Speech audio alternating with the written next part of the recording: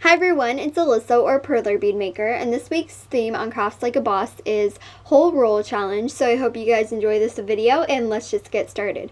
So the duct tape roll that I chose to make all of these things with was the bacon roll of duct tape. So I used the whole entire roll to make all of these things.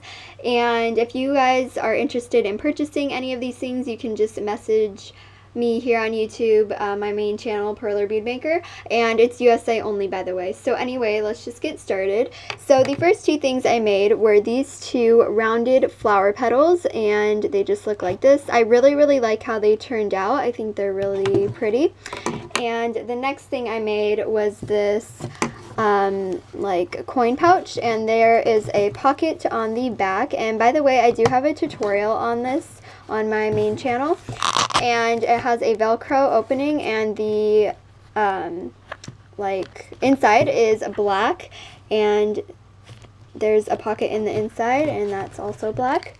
And the next thing I made was this hair bow and I really like how this turned out too. And it just looks like this. It has an electric blue center with a bobby pin securely attached on the back and the next thing I made was this bifold wallet. And it has two pockets, a V-shaped pocket and a regular ID. And sorry for like the glare right there. But anyway, the like trim is um, electric blue. And the billfold is also electric blue.